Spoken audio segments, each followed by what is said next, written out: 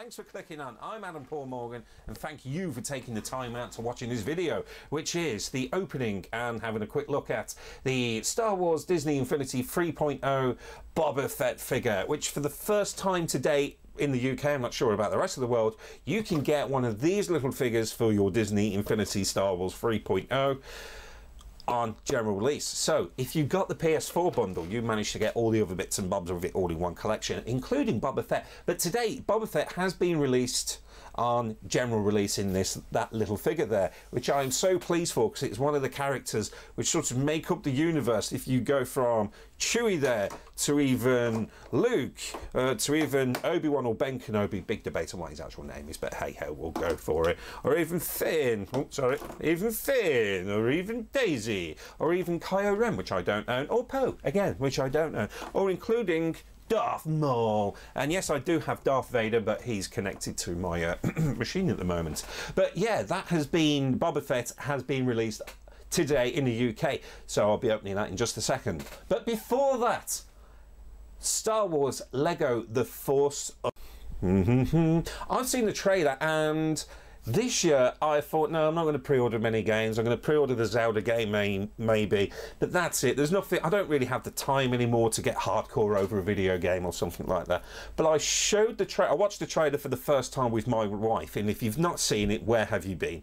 By all means check it out. It's very, very, very close to the first Star Wars trailer, but with the Lego comedic sense into it and the Lego world and Star Wars universe, which is very, very good. And it's one of those few games I can convince the wife to try and purchase me on my birthday. It comes out at the moment, uh, scheduled for sometime in June, Lego Star Wars The Force Unleashed. But the trick is, my wife said she's going to get it me for my birthday. My birthday is nowhere near in June, but the trick is, is trying to get it on day release and playing it and trying to get it as my birthday thing. But hey ho, I'll see how it goes. Or I could just pay for it myself and get something else for my birthday. Or nothing at all. So, here we go. The Disney Infinity 3.0 Star Wars Boba Fett unboxing. Now I'm actually thinking to myself, is this worth keeping in the box for my pension, or do I just get another one? Now with these things, no need to be gentle. I have done videos in the past with the uh, Nintendo Amiibo, and I've been very careful into trying to preserve the boxes. But for this one, I'm probably not, because I generally want to play with this one and do all the stuff that you can do, which PlayStation owners have been very, very lucky to do. Uh, in the past, I'll probably cut this bit out, to be honest. Haha! out of cryogenic state, you are!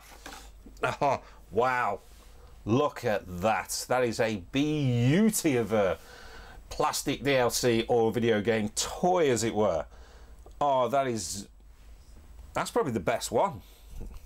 Detail wise, in the colours and everything. So rich in colours. That is worthy of having as well. And of course, my wife, who fell asleep during Return of the Jedi, has no idea why I got really excited over Boba Fett. She has no idea what the, who the character is or anything like that.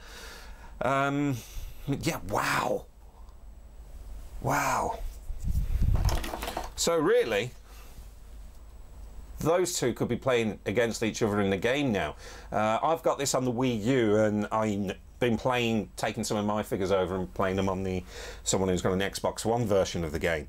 I'm Adam Paul Morgan. Thank you for taking the time out to checking out this video. At this point, normally people, YouTubers, go, please subscribe, like, or comment. I would like it if you do, but you don't have to. Thanks very much, and ta a bit.